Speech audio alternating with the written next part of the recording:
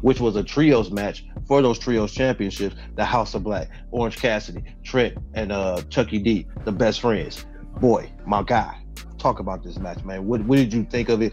I was I liked it. I thought it was cool. I thought it was a nice little back and forth match. I wanted to see my boys win, but I wasn't ready to see House of Black lose those titles. What did you think?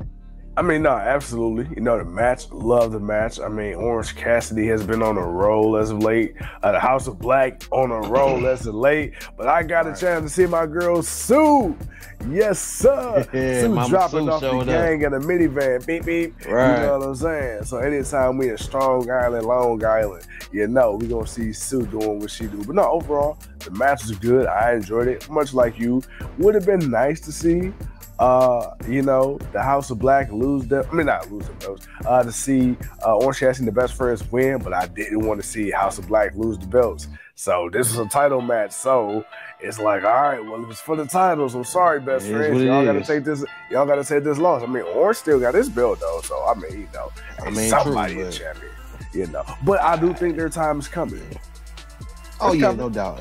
Some tag team go. You know, there's some other belts they can go after. Wrestling has more than one royal family.